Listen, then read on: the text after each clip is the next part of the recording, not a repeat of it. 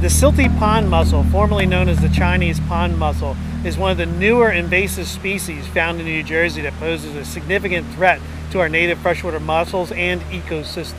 This mussel was first discovered in New Jersey in around 2010 when a um, former aquaculture and fish farm facility was purchased for land preservation. A large population of unidentified freshwater mussels was documented at the site. They can grow to large size, about the size of a Nerf football, and what happens when they get to high densities like that, they actually alter the water chemistry. They remove all the nutrients in the water environment. So they outcompete the native species for space and for nutrients. And we want to keep it contained to where it is and hopefully eradicate it. So we're doing surveys throughout the Wickecheoke drainage that was documented in, as well as any other waterways that may be impacted. We're working really hard to try and control that in New Jersey and doing a lot of research related to it.